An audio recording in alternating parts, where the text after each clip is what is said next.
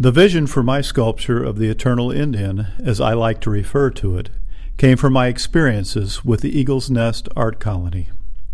We were a group of artists who passed our summers in our own little community high on the east bluff of the Rock River. There we sought creative inspiration in the beauty of our natural surroundings.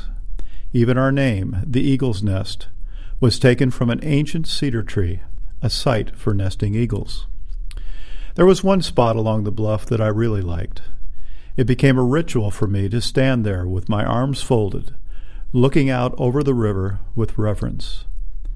I often considered the story of the great Sac warrior, Black Hawk, and I imagined the hardship he and his people experienced in parting with this land I now enjoyed.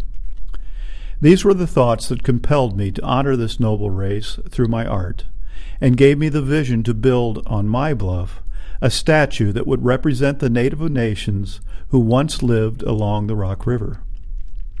It was my feeling that the Native American must not be lost to his land, even though the whites had driven him from it.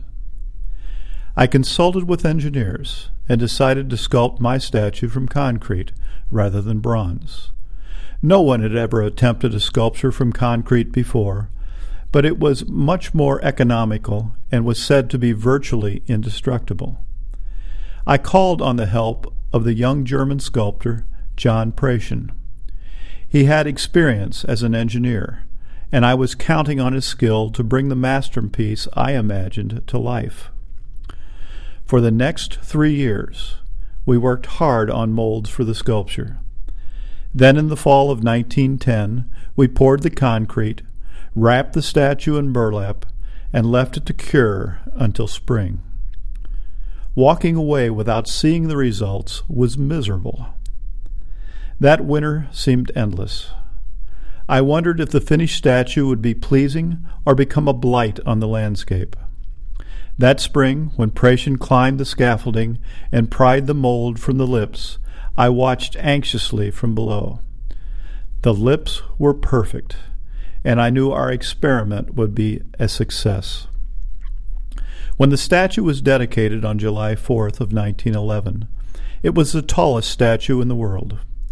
The public immediately referred to it as Black Hawk. The completed masterpiece was beautiful, as every work of art should be. But in my eyes, it would stand through the generations as a tribute to the legacy of all Native Americans.